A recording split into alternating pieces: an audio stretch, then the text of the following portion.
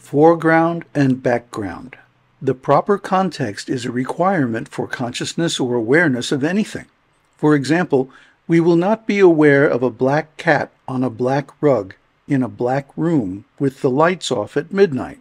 The same cat is easily visible on a white rug in a white room at noon on a sunny day.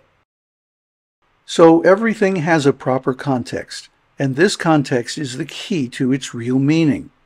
Every word, symbol, picture, sound, gesture, facial expression, experience, action, perception, sentence, discussion, feeling, idea, and intention exists in some context.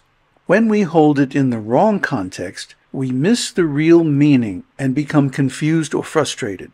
When we hold it in the right context, we see the real meaning and have an aha moment, a moment of insight into reality.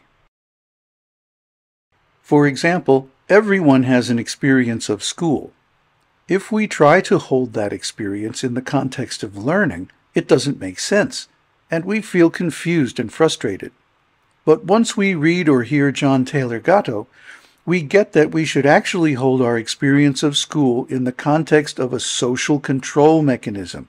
Aha!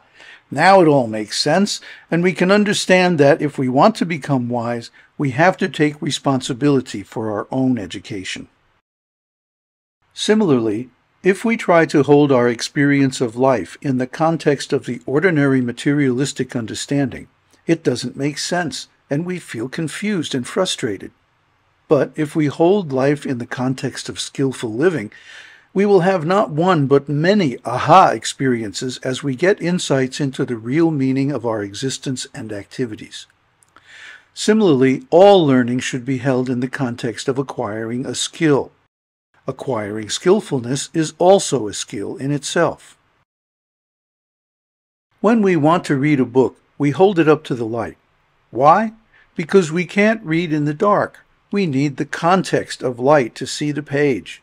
Similarly, if we are having trouble understanding or applying a subject, it is because we are holding it or parts or pieces of it in the wrong context or in the wrong relationship to the other parts. Finding the right context is both a science and an art.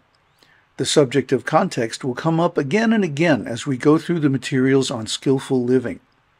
If you already can sense its importance and want some advanced training, we will have links later on to our source materials.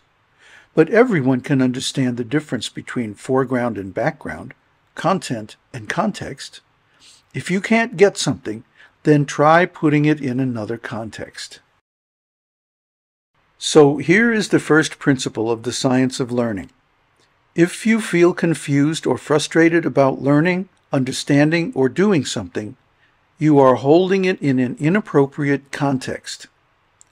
The rest of this video gives some practical tips on how to resolve contextual problems while studying. Knowledge of skillful living is very scientific and precise. To transfer this knowledge to you, we must find a way to define and communicate precise concepts.